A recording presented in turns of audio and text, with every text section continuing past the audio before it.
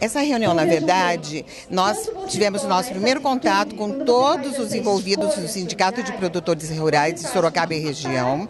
para que a agricultura familiar seja fortalecida com os programas de governo e as legislações atuais e modernas sejam definitivamente implantadas para beneficiar tanto a cidade de Sorocaba com a percepção de recursos federais, quanto os produtores rurais aqui do entorno, do Caguaçu e de Tinga, enfim, de todas as regiões do entorno da nossa cidade. Está marcada uma reunião para a primeira semana de janeiro com o prefeito dentro do Sindicato Rural para que seja alavancado, sejam alavancadas ações para que possamos é, modernizar e atualizar a legislação e colocá-la em prática.